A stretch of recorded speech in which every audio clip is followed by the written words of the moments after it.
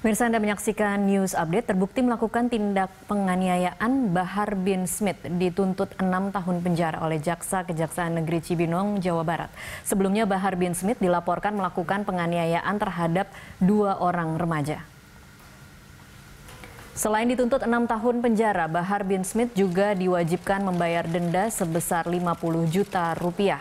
Atas tuntutan itu, Bahar bin Smith mengaku akan bertanggung jawab dengan perbuatan yang telah dilakukannya terhadap kedua remaja beberapa waktu silam. Namun kuasa hukum Bahar bin Smith menyatakan pihaknya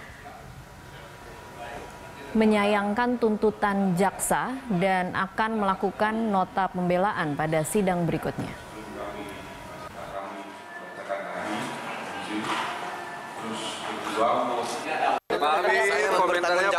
Apa yang saya lakukan. Apa, Bib? Saya bertanggung jawab atas apa yang saya lakukan. Dunia akhirat saya bertanggung jawab. Sorry, sorry. 6 tahun itu kira-kira adil nggak, Bib? 6 tahun adil nggak, Bib? Saya bertanggung jawab atas apa yang saya lakukan.